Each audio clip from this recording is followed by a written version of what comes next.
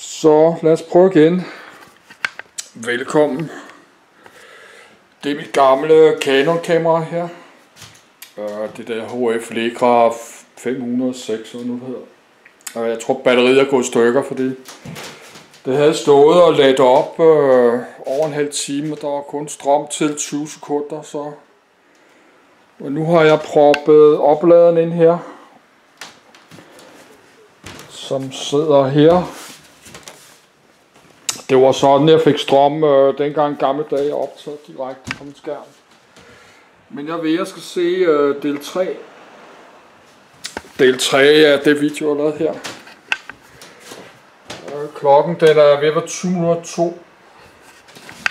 Den er 2002, og øh, min lejlighed er 27 grader varm.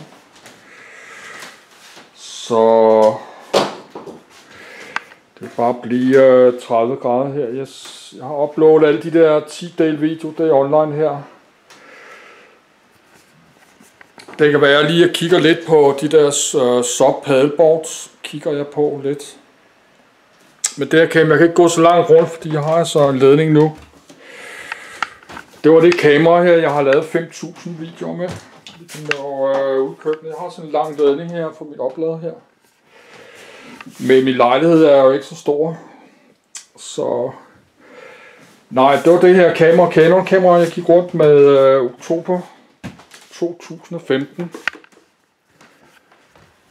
Fik jeg det her, købte det her, brugt på blå vis. Og øh,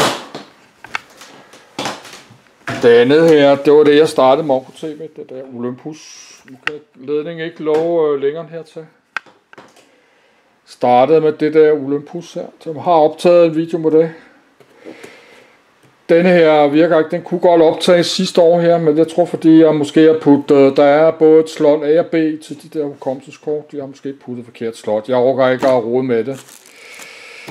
Og øh, batteriet øh, på det her er så nok gået i stykker. Øh, når jeg stoppede øh, den her video her, så vil jeg måske jeg vil bare stille øh, kameraet ned her gulvet, og så bare prøve at lade det opladt. Øh, men nu lige ligge, så vil jeg se den der del øh, 3 først, så vil jeg lige uploade det her. Og der er sådan en lille del på 24 sekunder, på, øh, som jeg uploader for sjov skyld. Og øh, så er der det her, så har jeg optaget øh, video det hele. Så kan det være, at jeg lige kigger på de der paddleboards. Så vil jeg lige lave en lille del, det, det der JVC videokamera der, så vil jeg lige lave en lille del på det. Jeg ved det ikke, det er bare for sjov skyld, jeg optager her. Så, med klokken er 20.02 nu, og øh, jeg har en medisterpøls. Jeg vil starte i aften, men det bliver så en 30 grader varm lejlighed, jeg skal stå og lave medisterpøls. Det har jeg sådan specielt øh, meget lyst til. Men lad, lad os bare gøre det. Jeg har en medisterpøls, jeg købte for 2-3 dage siden. Og det skulle egentlig have været fryseren. Så ved du, den starter simpelthen i dag. Og jeg har opvarmet et helt glas brun sovs og ris. Var lige efter franskbrød, og den mælk, den har jeg lige bællet. Og uh, yes.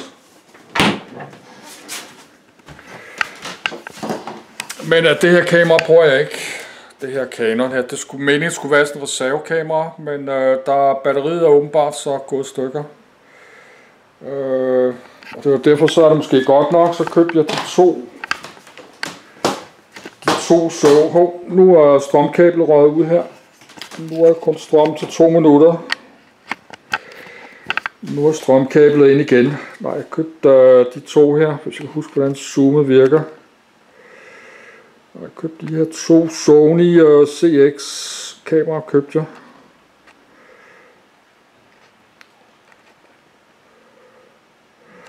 Det andet læg står der. De optager heller ikke særlig godt, men de kan optage video, så det her videokamera kan jeg så ikke bruge... Øh, det her kan jeg ikke bruge som reservekamera, ikke hvis batteriet er gået stykker. Yes.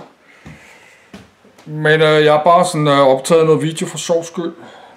Øh, hvordan min dag har været. Nu vil jeg lige øh, se den der del 3. Så kan I have en øh, god dag også. Yes, godt.